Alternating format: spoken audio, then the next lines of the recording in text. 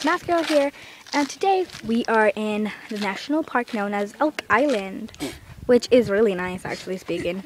So this is a Me and Bianca, like this is the ones sign. shoes, and they don't really care what it says. sandals.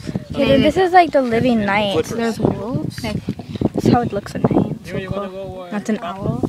Hey, uh, And there's French. skies. That's really cool. People of YouTube, this is What a is bison when we're going to national park.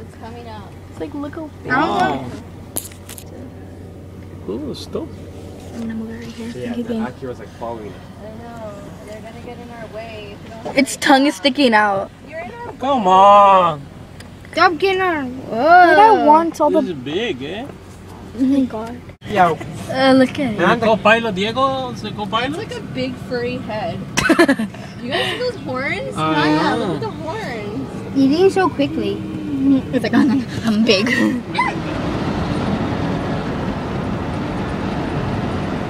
And that concludes our Elk Island review on me going there. So I hope you liked my video. Comment, subscribe, tell me what you think. Like or dislike this video. Bye.